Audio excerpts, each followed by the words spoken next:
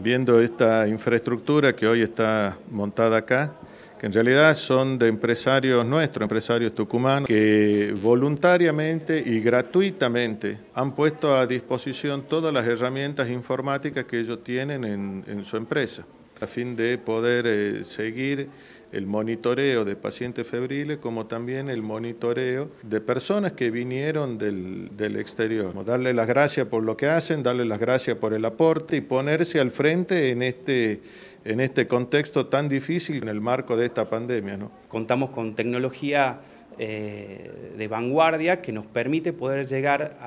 a los pacientes, en este caso, de una manera rápida, una manera segura y adaptada a los mecanismos actuales que, que, está al alcance de todos, como el WhatsApp, como son las llamadas entrantes. Y gracias a que hemos logrado que todo nuestro personal esté trabajando desde casa, tenemos una infraestructura